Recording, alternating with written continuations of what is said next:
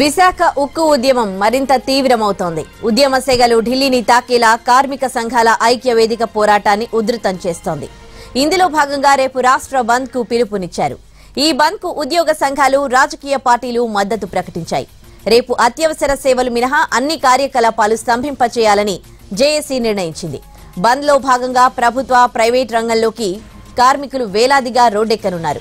RTC కూడా తన సర్వీసులను నిలిపివేయనుంది. యూనివర్సిటీలు ఇప్పటికే పరీక్షలు వాయిదా వేసుకోగా స్కూళ్ళు కాలేజీలు విద్యాసంస్థలు కూడా మూతబడనున్నాయి మరోవైపు స్టీల్ ప్లాంట్ ఉద్యమానికి అధికార వైఎస్ఆర్సీపీ ఇప్పటికే తన మద్దతును ప్రకటించింది. రాజకీయ పక్షాలన్నీ విశాఖ ఉక్కు తమ హక్కని నినదిస్తున్నాయి. ఎక్కడికక్కడ నిరసనలతో తమ వాణిని గట్టిగా వినిపించేందుకు సిద్ధమవుతున్నారు. బంద్ను సక్సెస్ చేసేందుకు పకడ్బందీ ఏర్పాట్లు చేసుకున్నారు. బీజేపీ అనుబంధం కార్మిక సంఘం బీహెచ్ఎంఎస్ ఈ పోరాటంలో కీలకం కానుంది. కేంద్రం తన నిర్ణయాన్ని ఖచ్చితంగా వెనక్కి తీసుకోవాలని డిమాండ్ చేయనున్నాయి. ఇక ఓవైపు ఎన్నికలు మరోవైపు బంద్ నేపథ్యంలో పోలీస్ యంత్రాంగం పటిష్టమైన భద్రతా ఏర్పాట్లు చేస్తోంది.